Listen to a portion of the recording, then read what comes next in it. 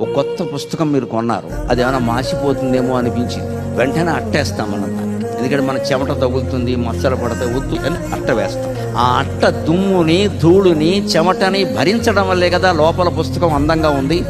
తల్లిదండ్రులు ఆ చెమటని దుమ్ముని ధూళిని కష్టాలని భరించబట్టే మనం ఎంత అందంగా వాళ్ళు మీకోసం వ్యవసాయం చేస్తున్నారు మీకోసం శీతోష్ణాలను భరిస్తున్నారు మీకోసం జ్వరం వచ్చినా సరే కష్టపడుతున్నారు. నా బిడ్డ చదువుకుంటుంది బాగుండాలి బాగుండాలి బాగుండాలి. ఇప్పుడు డబ్బులు కావాలి మరి కష్టపడకపోతే అక్కడ రోజువారీ పళ్ళమ్ముకుని కాయలమ్ముకుని కూడా ఇక్కడ చదివిస్తున్నటువంటి తల్లిదండ్రులు ఉన్నారండి. ఎంత శ్రమ పడుతున్నారో ఆలోచించండి. మీ తల్లిదండ్రులు ఆనందించే విధంగా ప్రవర్తించండి. మీ తల్లిదండ్రులు ఆనందించే విధంగా వాళ్ళకి మత్స తీసుకురాకూడదు ఎట్టి పరిస్థితుల్లో. తల్లి కన్నీళ్ళు పెట్టింది అంటే జీవితం అంతా శాపం.